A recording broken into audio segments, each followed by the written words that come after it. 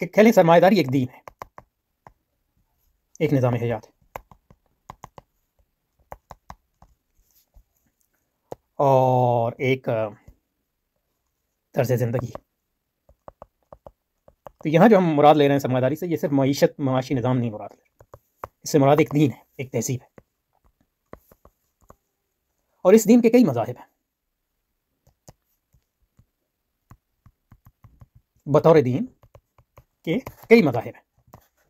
जैसे मुसलमानों के सुन्नी शिया है, इनके यहाँ भी मतलब यह है कि अब जब हम फिर लिबरल लिबरलिज्म हो गया मार्क्सिज्म हो गया, फिर लिबरल यानी नेशनलिज्म हो गया,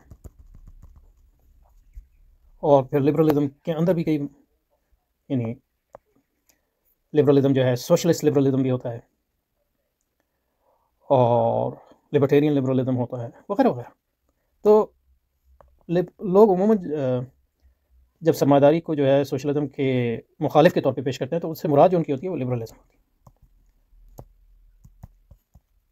या ये कि वो सरमादारी को सिर्फ़ निज़ाम मीशत के तौर पर इस्तेमाल करें तो इस लिहाज से जो है ये सरमादारी जो है इस सरमादारी का हिस्सा है।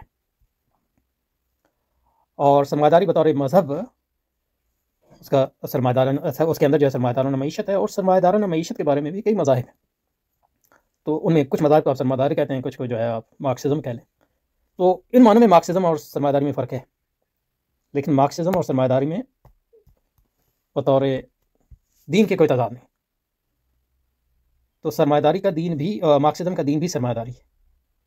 और इस सरमादारी का दीन भी सरमादारी इसको और वजात करेंगे इंशाल्लाह, लेकिन इस यानी एक पैराए में जो समझें। तो इस लिहाज से कह लें कि मतलब ये कि समझने के लिए